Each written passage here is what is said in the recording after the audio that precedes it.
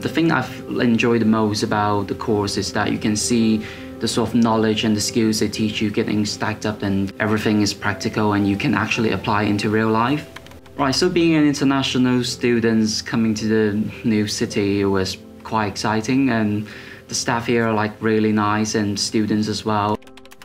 I think the answer is no, because I'm I'm quite happy with how things turned out. I mean, you can't really do better than first. I'm applying for different jobs, mostly accountancy firms, and hopefully get ones that kind of support me through to do my professional exams and yeah, just take things next level.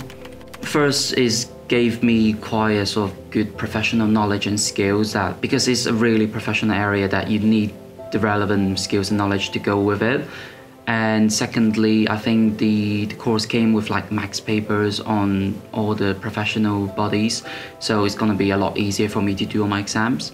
Big advice I'd say is um, just don't skip a lecture. I know a lot of you guys gonna hate me, but oh yeah, of course he's uh yeah. You're studying something that's big and it's a whole. So if you miss out on something, then the things that are behind coming next, they just don't add up or it just doesn't make sense. So it's quite important to stick to the lectures.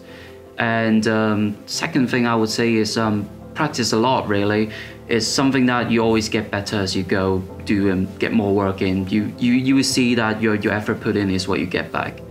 It's a tiny bit of confusion because as to what is coming next, but at the same time I felt quite relieved that the exam's over and just really happy that I got my results and in general just really excited because I get to progress, I don't know, into a future.